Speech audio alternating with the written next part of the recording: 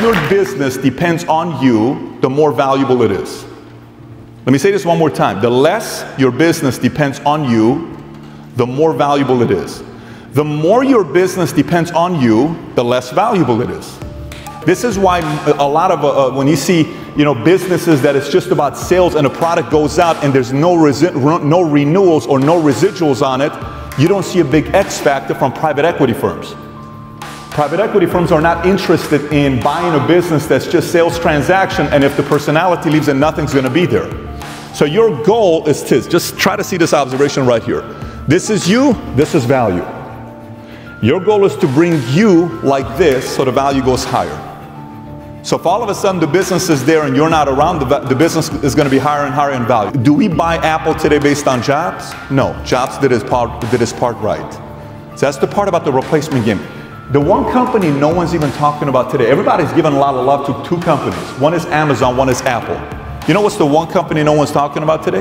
Microsoft. They're about to be the trillion dollar company next. Bill Gates understood this concept of taking them here, so Microsoft's value is here. So now let's go through this. Thinking like a CEO. Look, most of us in this room, almost everybody in this room, if you think about a Grant who now goes out there and buys a plane that's worth 60, 70 million dollars, telling me he buys it cash, how did he start off? Most of us start as an employee. Who at one point of their lives has had a job? Okay, if you do this behavior, we pay you 20 bucks an hour. If you do this behavior, you make 15 bucks an hour. Whatever it is, you get paid per hour, right? Then you go from employee to being a salesperson. Sales agent, salesperson, sales, whatever you want to call it. The difference from the mindset of an employee to this is what?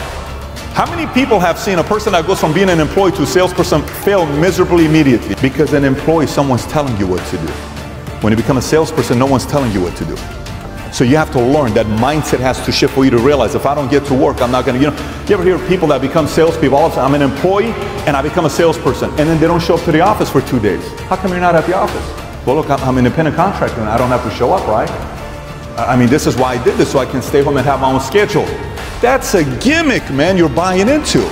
He's about to be an employee very soon because he has no idea what it is to be an independent contractor, right? So then from this mindset comes the next one. What's the next one? You become a sales leader.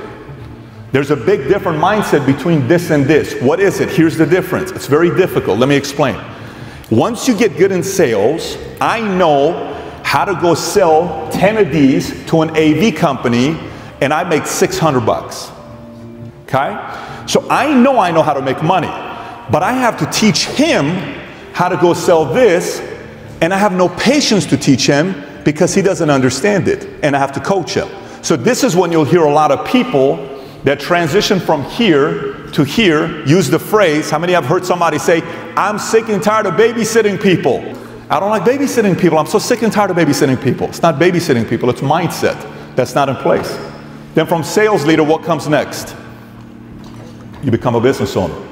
Now, what's the difference mindset between a sales leader and a business owner? Now you got assistants, now you got costs, now you got office, rent, compliance, payroll, accounting, legal, all this stuff that you got to go through. And that's when you hear people from here don't make it here and they go back. A lot of people say, oh my gosh, I'm going to go start my own business. I had no idea this is what it was like. I'm going to go back and I just want to run a sales team. This is also shift in mindset.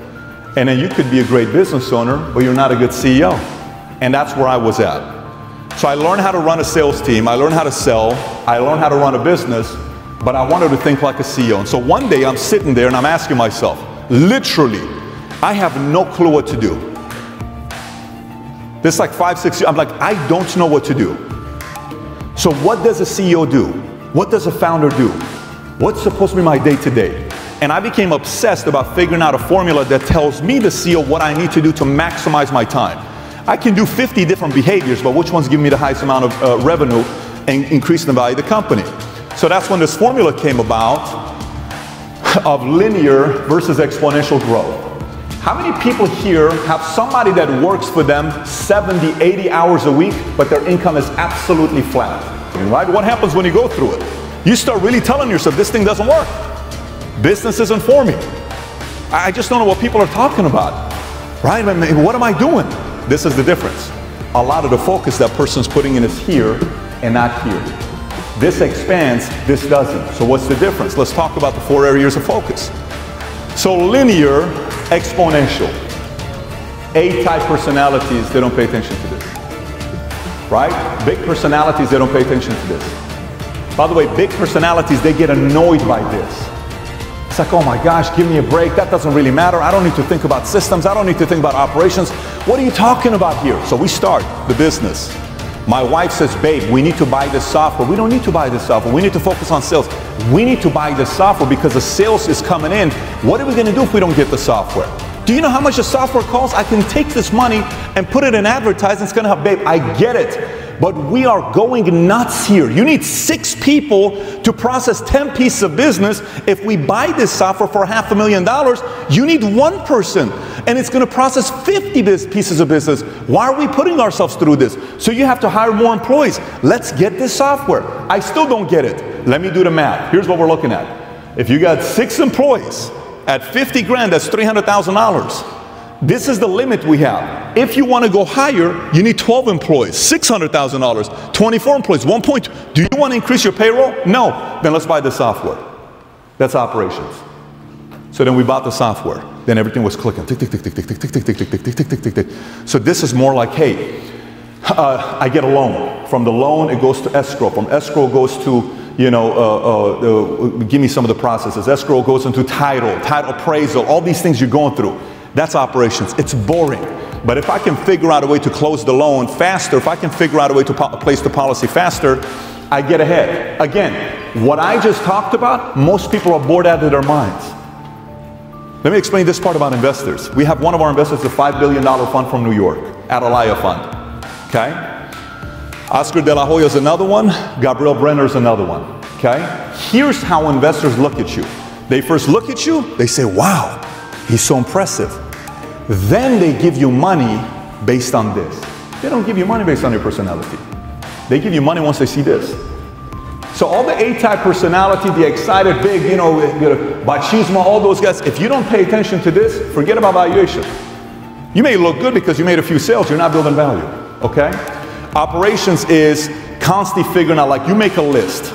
You make lists and say, this job, this job, this job, this job. I'm doing seven different things right now. Why am I doing these seven different things?